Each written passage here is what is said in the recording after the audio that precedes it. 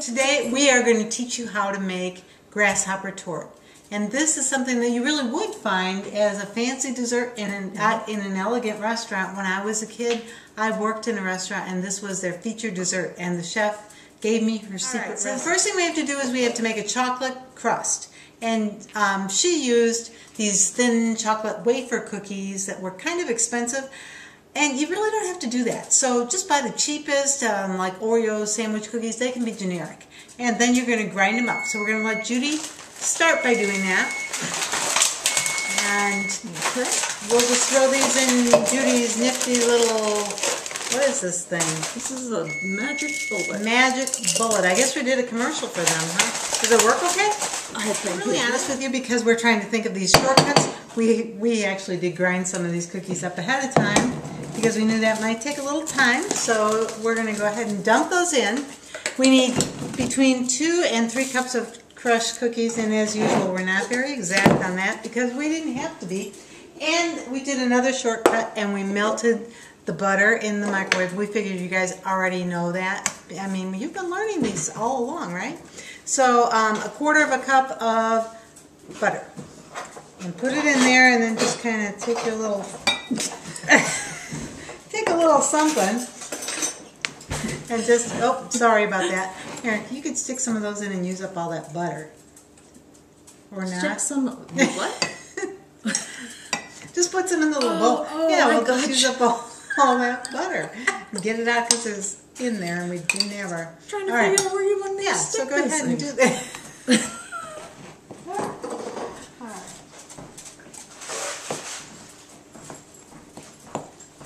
Going? Good, good. Looking good. good? Mm-hmm. Okay. What do you think? I think you could do a little more. Just kind of get it on the side. All right, now just dump it in here. And we're going to press it down. Your fingers and hands are going to get dirty again. But I'm sure. better yours than mine. Go for it. This is just making the bottom of this delicious dessert. Wait, ah, it's, it's just really, really good stuff. And St. Patrick's Day is coming up, and it's green. So it will be a fun dessert for St. Patrick's Day. So Judy's going to finish pressing this down, and then we'll show you the rest of it really fast. This is another one of these quick and easy recipes. Five so We've gotten the crust part done now, and now we're going to do the rest of it. And to do the rest of it, we're going to use heavy whipping cream. Judy, we need three cups. Okay. You better probably put it in this bowl. We, we're, this is a two bowl process that we're going to be doing here. So we need to measure the um, the three cups into. You want me to help you with that? Oh, you got it. Okay. All right. All right. What Judy didn't tell you today is that before we started working today, she went over to Glamour Shots and she got herself all dolled up eh, because we were going to do the dolled up thing. Remember we told you we'd do that? And so now I'm feeling really bad. So look at her and don't look at me. And if your eyelashes fall off into what we're making, it's okay. Don't worry about it. I'll make fun of you. All right. So now we need to we need to go ahead and whip this Okay. and use beaters. We put the beaters in the refrigerator. We normally put the bowl in the refrigerator as well, or in the freezer, because it helps your whipped cream whip faster. And we always want to do everything faster. Like put the beaters into the thing faster. Okay. Okay, can you get it? Well, I, I, you know, I think so. All right. That one I know is well seated, so that's going to Okay, so we're going to beat this up. That's going to take a couple minutes. And so as soon as Judy stops, starts beating, we'll just take a little rest here so you don't have to watch all. Oh! I think we need to have The little with the rest. beater.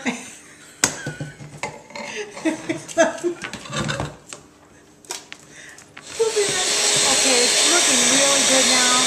We don't want to overbeat it because then you know what happens.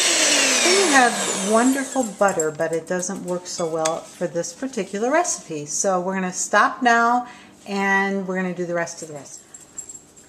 Okay, so the next ingredient in this wonderful recipe is one of our favorite things, it seems like. We have marshmallow fluff again. This calls for the 13 ounce jar, and Judy's scooping it all out as quickly as she can, but we all know that that sometimes is a challenge. But while she's doing that, I will tell you that the next ingredient is cream de mint. It's the real deal. It's um, you can buy whatever brand you want, but it is the after dinner cordial drink, and we're going to use that to give it its beautiful green color and the mint flavoring. Judy's just about done with that. She's really getting to be a pro. Yeah, I And know. Practice makes perfect. It's this spatula. Yeah, yeah, that spatula, I think we've talked that one to death. Okay. All right, so now you want to go ahead. And We, get the you're getting a little messy there. We need six tablespoons of the uh, creme de mint.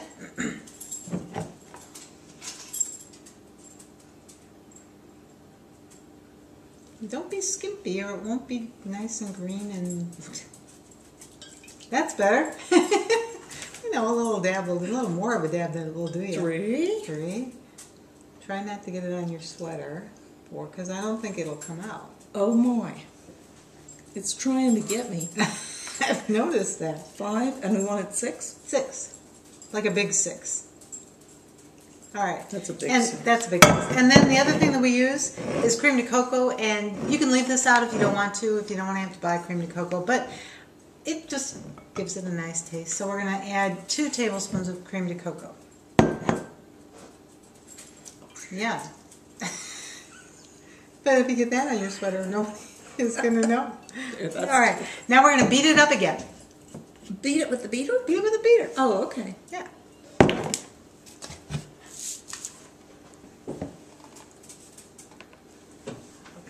Well, what part of that didn't you get? Oh no! Oh, that's low. Oh, oh no!